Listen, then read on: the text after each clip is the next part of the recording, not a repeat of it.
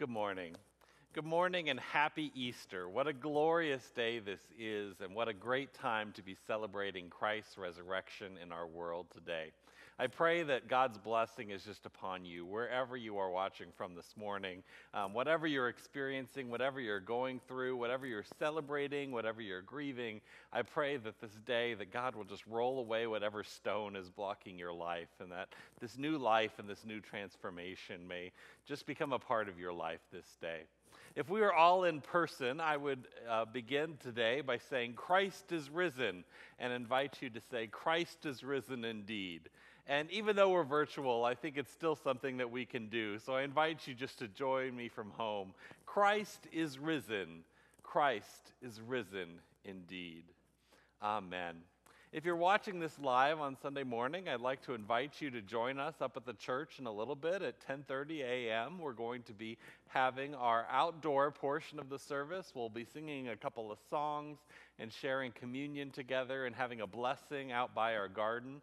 And so I'd love for you to join us in that, in that time, that place to continue the, this celebration. If you're watching this later in the week or if you can't make it up or whatever's going on, we just pray that the resurrection will be a part of your life as well. Now let us enter into this time and space of worship, and let's begin that with our call to worship. Out of the darkness of grief and despair comes a message of hope. Christ is risen. Christ is risen indeed. We run to the tomb to see for ourselves, and it is true. Christ is risen. Christ is risen indeed. We hear a voice call our name, and we know our risen Lord is with us now and always. Christ is risen. Christ is risen indeed. Thanks be to God.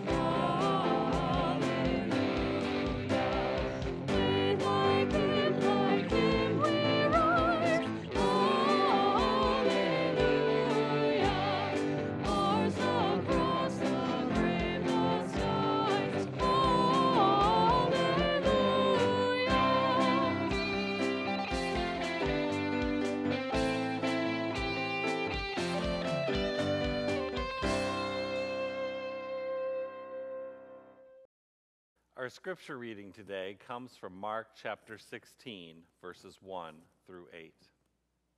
When the Sabbath was over, Mary Magdalene, Mary the mother of James, and Salome brought spices so that they may go to anoint Jesus' body. Very early on the first day of the week, just after sunrise, they were on their way to the tomb, and they asked each other, who will roll the stone away from the entrance to the tomb? But when they looked up, they saw that the stone, which was very large, had been rolled away. As they entered the tomb, they saw a young man dressed in a white robe sitting on the right side, and they were alarmed. Don't be alarmed, he said. You are looking for Jesus, the Nazarene, who was crucified. He is risen he is not here. See the place where they laid him. But go and tell his disciples and Peter, He is going ahead of you into Galilee. There you will see him, just as he told you. Trembling and bewildered, the woman went out and fled from the tomb. They said nothing to anyone because they were afraid. This is the word of God for the people of God. Thanks be to God. Amen. Will you join me in a moment of prayer? Holy and loving God, we come to you on this day of resurrection, celebrating an end to our time of wilderness. We come to you celebrating new life and new possibility. We celebrate that you are risen yet again. And we come that praying that we might be risen with you as well.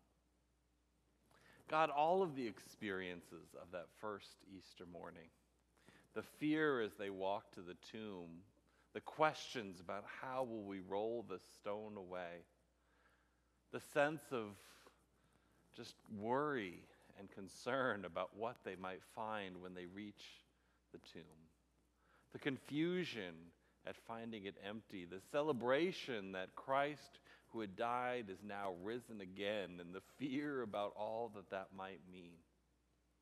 God, this whole range of emotions that these women first experienced, God, we still experience them today.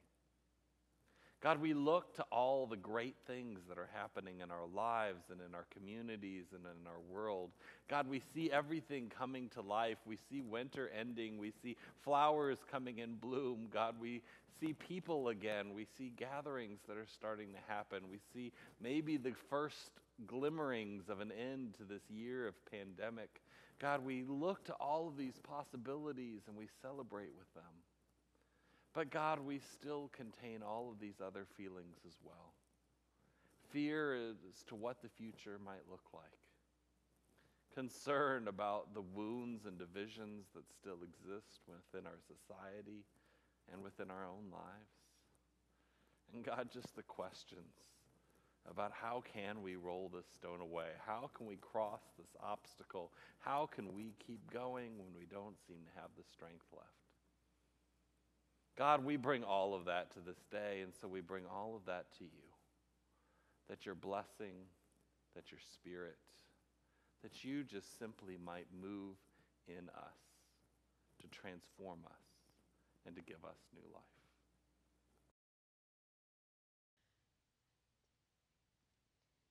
life.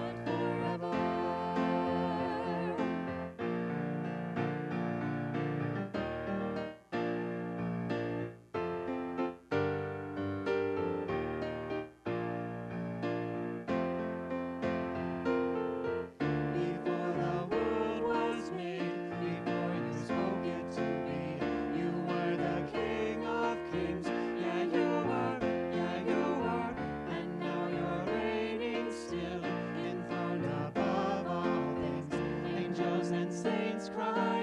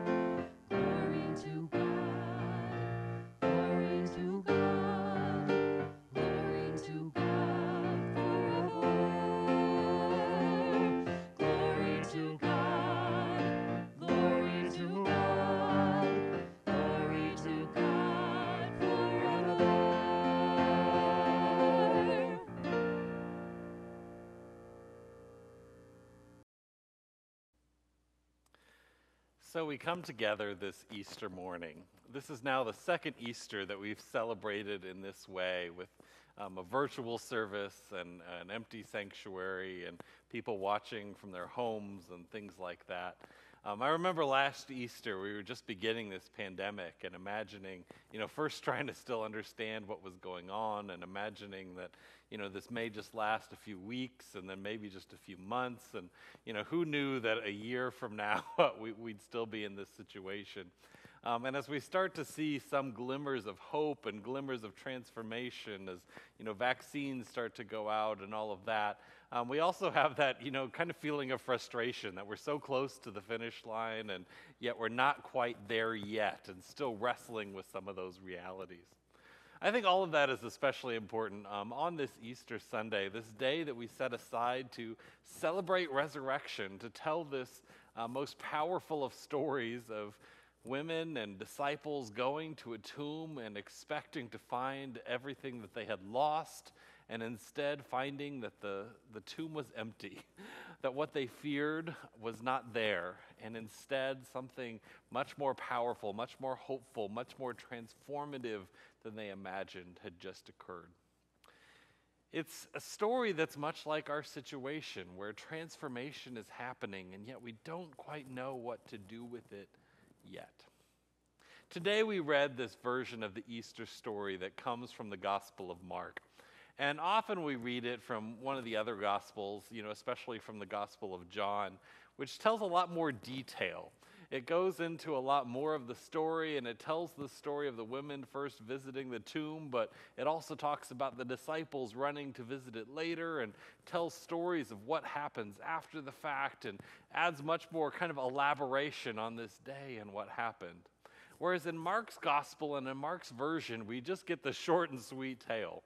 And Mark's version is also interesting because, in many ways, these verses are the end of, of the story. Uh, Mark's gospel doesn't go on to tell of you know the appearances that Jesus did ha- after the resurrection, of when he appeared to, to you know doubting Thomas, when he appeared to Peter to offer him forgiveness. It doesn't tell anything that happened after that. Mark was the first gospel that was written. Um, and in some ways, it, it, ends with this verse, you know, as what we read Trembling and bewildered, the women went out and fled from the tomb. They said nothing to anyone because they were afraid. And that's it. They left and, you know, they heard this powerful tale that Jesus was risen, but they left and it says they were afraid and they didn't know what to do with it. Of course, in many Bibles, you'll see that Mark has some more verses written in them, but a, a lot of times, you know, it, it, will occur like it will have some of these lines. Like in mine, it says the earliest manuscripts and some other ancient witnesses do not have verses 9 through 20. And so, in a lot of the earliest texts that we have, what we imagine to be the, the earliest Gospel of Mark, that was the end of the story. That was it. And you can imagine a lot of people reading it and thinking what we think today of that's it. They left and they were afraid. Like, that's a really kind of a downer for an ending. What happened next? We want a happy ending. We want a happily ever after. And you can see how someone, you know, in later times would have gone back and added on to this to the story to tell more of what happens next. And we see this in the other Gospels, and that's not saying that what happened next isn't true, but just that at first Mark didn't even write it. And I think we've all had this experience of, you know, you like you watch a TV show and you get really invested in it and you follow it week after week and season after season and you're waiting for that epic finale to tie everything together and then it just doesn't quite happen. And sometimes after that, it's hard to go back and rewatch it. You know, I've had several shows like that. I think of the old show Lost, where, you know, I was really invested in figuring out everything that happened. And then the end, it was like, oh, that's, that's okay. um, and I never, never kind of watched it again. We all want a really good ending. And in some ways, Mark's gospel doesn't provide that. And probably that's why we don't often read this version on Easter morning. But I think what is important here, and what's really powerful that Mark expresses, is that sometimes resurrection is a complicated thing. And sometimes resurrection and the power that it brings just doesn't happen in the way that we expect. What happens in this telling of the gospel is you see this whole range of emotion through the lens of these three women who went to the tomb on that first Easter morning. It talks about how they, you know, got up early and went to the tomb that day carrying spices so that they may go to Jesus' body and anoint you can imagine what that must be to go to a tomb expecting to find Jesus' body and carrying the spices to anoint it. They were walking to that tomb that day expecting Jesus still to be dead. They had just witnessed Jesus' death in the most gruesome of ways just a couple of days before this. And in many ways, they were probably still processing that, thinking about what it means, thinking about this person who had so changed their lives and now he's not with them anymore. You can imagine the grief and the loss that they were processing as they walked to the tomb, the tears that must have been shed on that walk as they got up early that morning. And it says, as they were walking, they asked to each other, Who will roll the stone away from the entrance to the tomb?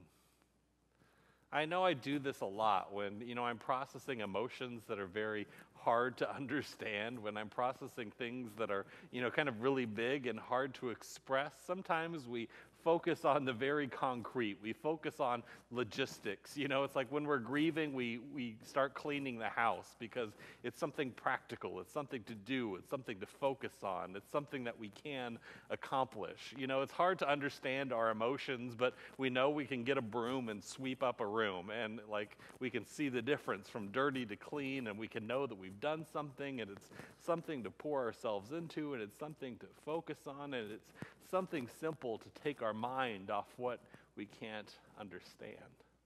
And so the women that same day, you know, they're, they're grieving, they're dealing with Jesus' loss, they're wondering what that means, they're wondering what they're going to do in the future, they're wondering where this is all going to go, they're wondering how they're going to resume their lives now that Jesus isn't there, and they're focusing on the practical well, what are we going to do about that stone?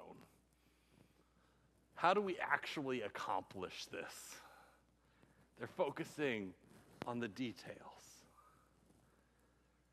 And then it says when they got there, they hear good news. They see, the first of all, that their concerns didn't have, you know, weren't warranted, that the stone was rolled away. And they see a young man, it says, dressed in white, and he says, Don't be alarmed. You are looking for Jesus of Nazareth, but he is risen. And he then almost goes to qualify it like, I know you, you probably don't believe me, but look here in the tomb. His body isn't here, it's empty. I have proof.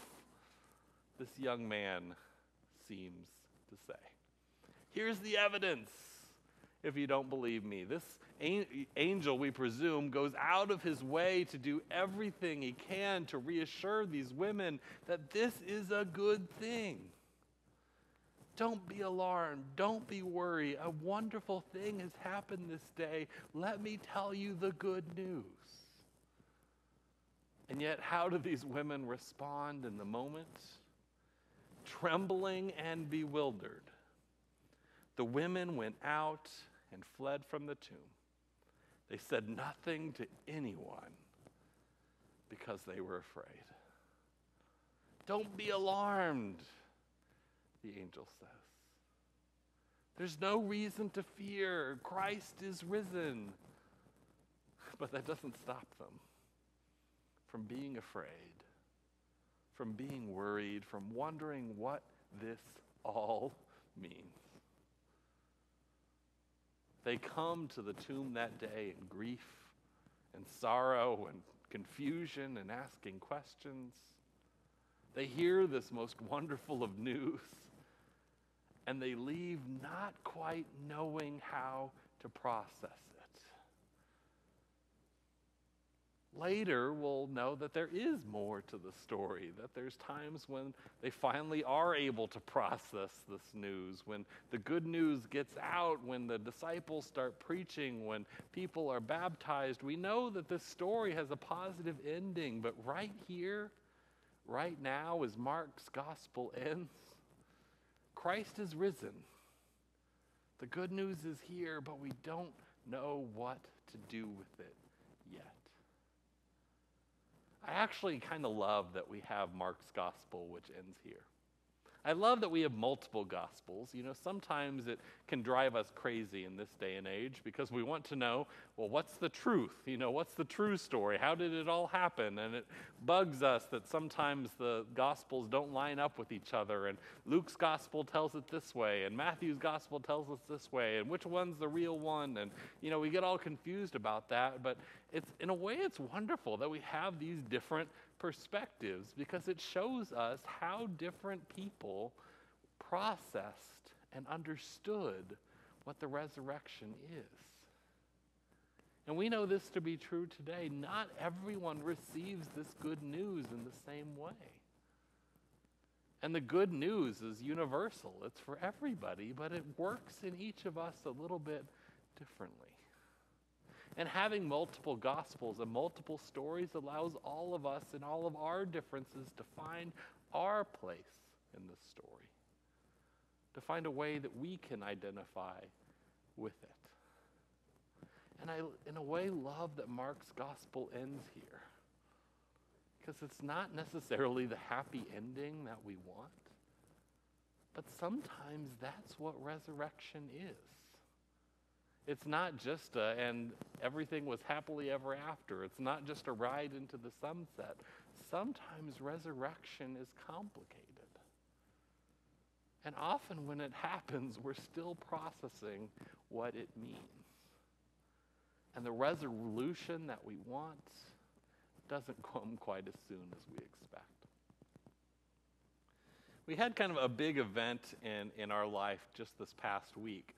Um, on Tuesday, uh, my wife and I, we, we actually closed on a house. It was the first time we, we had bought a house. It was the first time we had kind of gone through all of that.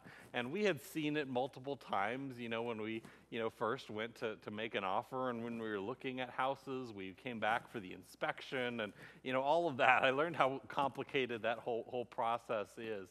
But we were excited this week when we finally closed because we were finally going to take our, our kids over to see the house for the first time. And we had gone and we'd closed during the day, and so we were ready with our keys to, you know, pick our kids up from school. And we loaded them all in the car and we took them to the house, and we were just so excited to show them. We're like, you can look at the rooms and see which one you want to be your bedroom, and you can go in the backyard. And there was a play set that, that was already kind of built there that we were excited to show them and for them to play on. And we were so excited for them to see it that we just couldn't wait. And so we drove into the house and we you know, opened up the garage and we're like, kids, we can't wait to show this to you. And we opened the door and then we're like, what do you think? And they looked around and Jonah, our oldest, was like, It's empty.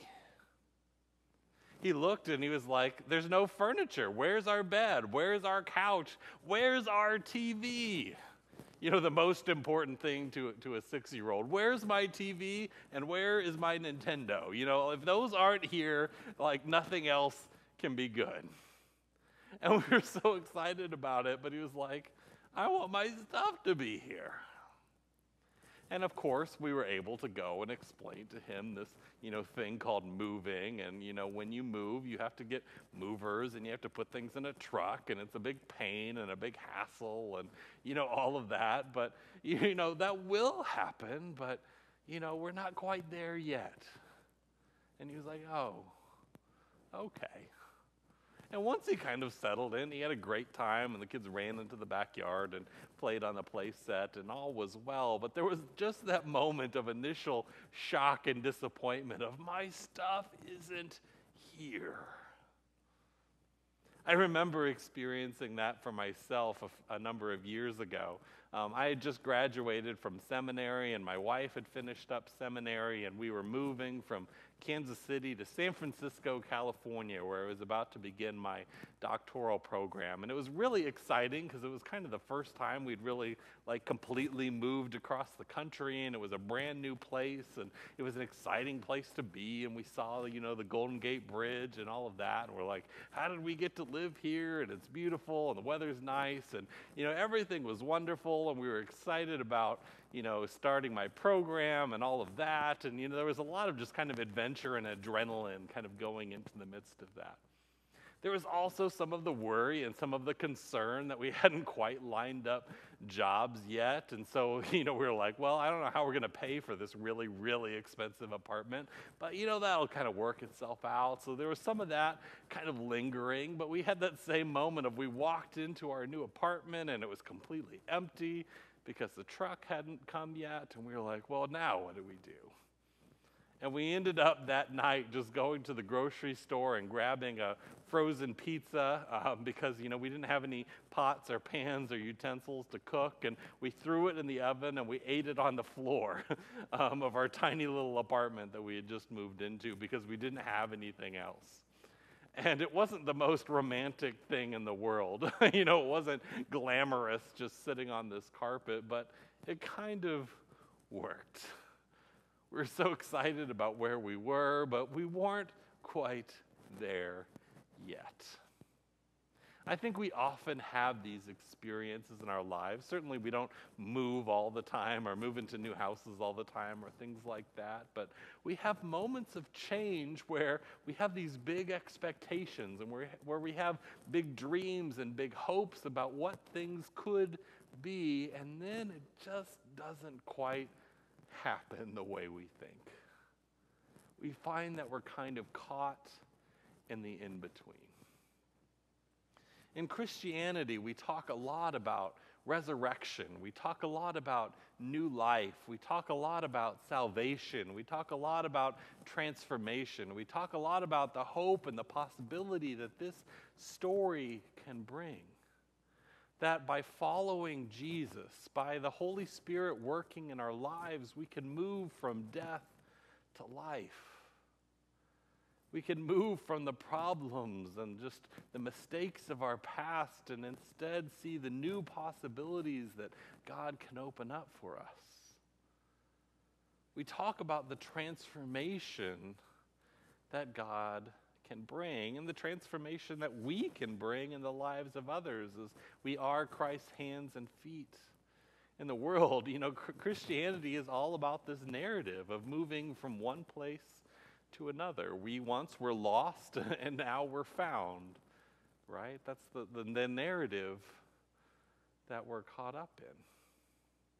And I want to say that that's true. You know, I can look in my life and see the, the transformations that have happened, the things that I've learned. You know, I look back at my teenage self and the things that I did, and I'm like, oh man, I don't know who that guy was or like what he was thinking, right? Um, you know, we had this time where I like found like some old like teenage journals of like me and my wife like back at home, and we were like, who wrote this? like, what were we thinking?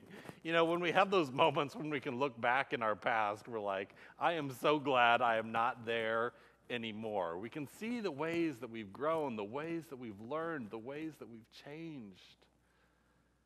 But I don't know about you, especially looking back in my faith journey, it's hard to find a moment where everything changed.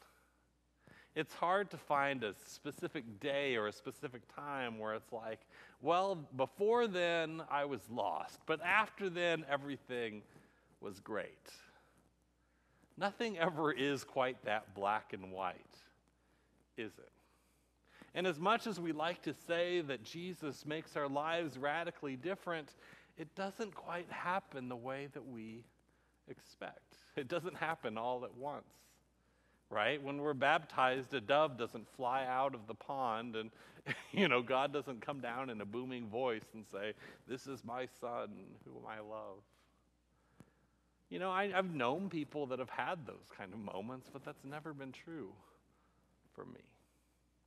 And sometimes when we don't have that kind of radical transformation, we start to wonder did this really take? Is this really real? Am I really saved, or is there more that I need to do? And when we're caught up in those moments, I love that we can look to the story in Mark and realize that that's just sometimes how resurrection happens. That, like resurrection happened on that very first Easter morning, Christ was risen. The good news was here before anyone could realize it and before anyone understood it. God was bringing life to people, even when they were afraid of what that life might be. Good news was being proclaimed to people who did not understand what they were hearing. And the very first time an angel told someone Christ is risen, their response was to run out the door. Imagine if you had that on an Easter Sunday where we, you know, stood up in the morning and we're like, Christ is risen, and everyone ran out the door. You'd be like wondering, well, what did I do? Like, what, what happened? But that's how it happened this very first time. And I think that's an invitation for each of us. That if we feel like our resurrection is still in process, that if we feel like we're still, you know, kind of a work in progress, that, you know, there's still like, God still has some work to do on me. I'm not quite there yet. well, then you have a story that's saying, well, you're in good company. Because really, when we get down to it, that's how resurrection works. That's how it happened, even to the first disciples. Sometimes we're all kind of a work in progress. Sometimes Easter is a work in progress. And that's perfectly okay. I think there's some power in recognizing that we don't need to be further along than we are.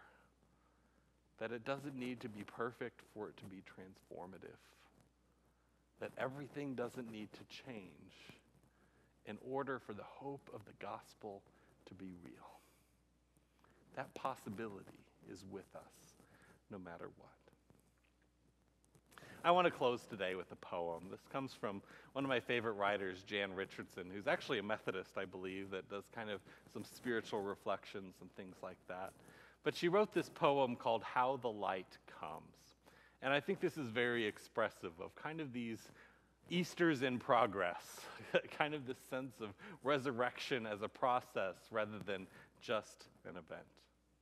She writes, I cannot tell you how the light comes. What I know is that it is more ancient than imagining, that it travels across an astounding expanse to reach us, that it loves searching out what is hidden, what is lost, what is forgotten, or in peril or in pain that it has a fondness for the body, for finding its way towards flesh, for tracing the edges of form, for shining forth through the eye, the hand, and the heart. I cannot tell you how the light comes, but that it does, that it will, that it works its way into the deepest dark that enfolds you. Though it may seem long ages in coming or arrive in a shape you did not foresee. And so may we this day turn ourselves toward it. May we lift our faces to let it find us. May we bend our bodies to follow the arc that it makes. May we open and open more and open still to the blessed light that comes. May we open ourselves this day to resurrection, knowing that we're still going to be working on it for a while. We may not understand it. We may not comprehend it. We may not feel it. But God is still there.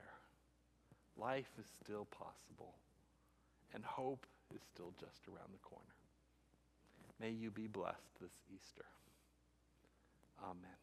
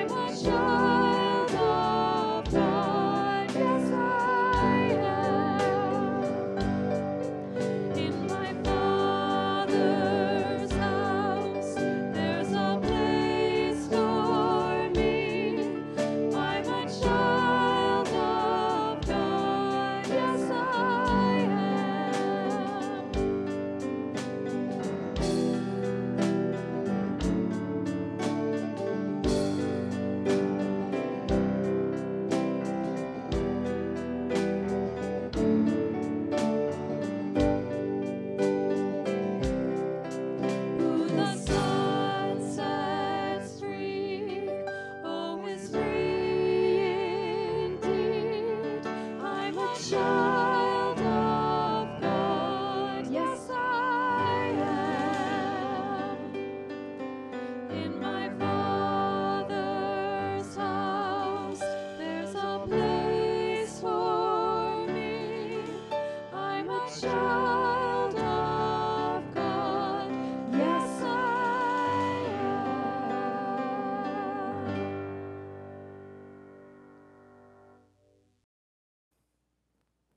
I pray that you will go forth and have a blessed Easter. Easter is not just a day, but instead it's a season. And so if resurrection doesn't happen for you today, if you still feel like you're a work in progress, if you still feel like you have a ways to go, that's okay. God's Spirit may it continue to be with you in the coming days, in the coming weeks, in the coming months, in the coming years. God is at work. And may we be at work in the world to carry God's Spirit into the places of darkness. May you go forth this day. May you celebrate this day. In the name of the Father, and the Son, and the Holy Spirit. Amen.